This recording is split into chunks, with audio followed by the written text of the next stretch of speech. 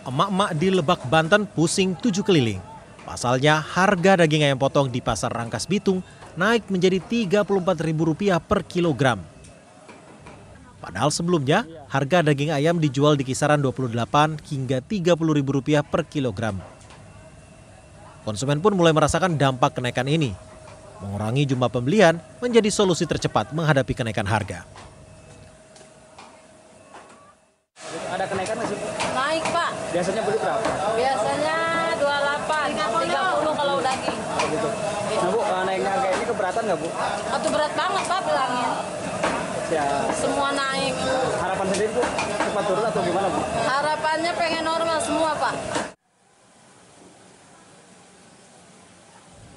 Minimnya pasokan dari peternak akibat belum masuk masa panen diduga menjadi penyebab kenaikan harga ini. Tak hanya pembeli, pedagang pun mengeluhkan turunnya omset hingga 50 persen.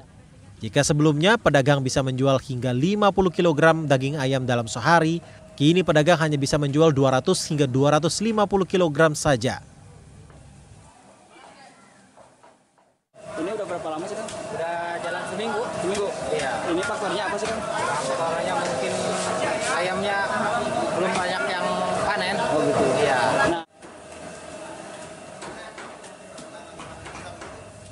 Pedagang dan pembeli berharap pasokan ayam dari peternak dapat segera normal, sehingga harga protein favorit masyarakat Indonesia ini dapat segera stabil.